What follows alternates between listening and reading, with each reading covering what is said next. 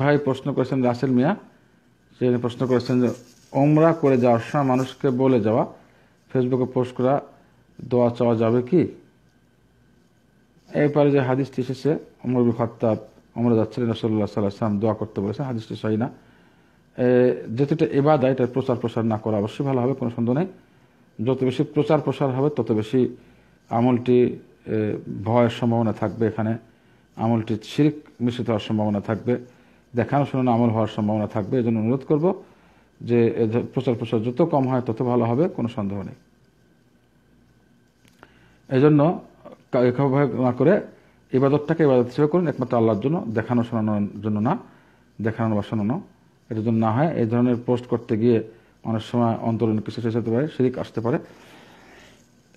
এই জন্য ইবাদত করুন আল্লাহর জন্য আল্লাহকে দেখানো শোনানো, অন্য কাউকে না। জি। জসিম ভাই প্রশ্ন করেছেন জসিমউদ্দিন ভাই, যে মিলাদ নিয়ে সমস্যা। অর্থাৎ আমাদের দেশে মিলাদ যেটা হয়ে থাকে, অর্থাৎ যেটা বিভিন্নভাবে রসল্লা জন্মদিবস পালন উপলক্ষে অথবা ঘরে ঘরে মিলাদ পড়া হয়ে থাকে, বিভিন্ন অনুষ্ঠানে পড়া হয়ে থাকে এই ধরনের মিলাদ। এটা সম্পূর্ণ ভিত্তিহীন একটি বিদা যা ইসলামে এর ভিত্তি ছিল না এবং এর সৃষ্টি হয়েছে প্রায় ছয়শো শতাব্দীর পরে এসে ইসলামে। ছয়শো বছর পরে এসে প্রায় এর জন্ম হয়েছে জিনিসটি, যা ইসলামকে কুলসিত করেছে এবং যার শুরু হয়েছে এতগুলো বেদাত কাজ দিয়ে এবং এতগুলো নিষিদ্ধ কাজ দিয়ে, এত অপচয় দিয়ে এর ইতিহাস জানার জন্য আপনাদের উচিত হবে।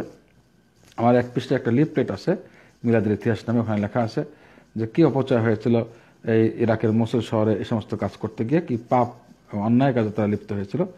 এইগুলোর উল্লেখ আছে, পাঁচ অক্ট নামাজ জামাত ছাড়া ব্যায়াম পার্টি গান, বাজনা, লক্ষ লক্ষ পেয়ালা এবং খাসি, মুরগি এভাবে মেরে আনন্দ ফুর্তি করে আউজবিল্লাহ নামাজ নষ্ট করে এগুলো শুরু করা, মিলাদ শুরু করা হয়েছিল। তাও এটা খ্রিস্টানদের দেখা দেখি করেছে। ইহুদিরা, ইহুদিদের দেখা দেখি খ্রিস্টানরা শুরু করেছে।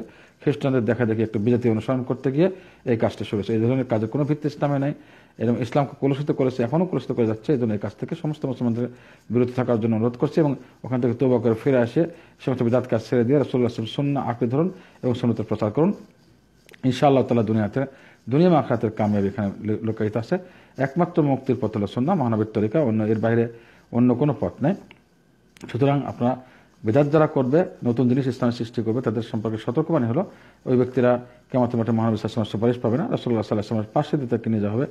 এবং আর নামাজের লক্ষণ আছে, উম্মতের লক্ষণ পাওয়া যাবে অজুর অজুর লক্ষণ পাওয়া যাবে।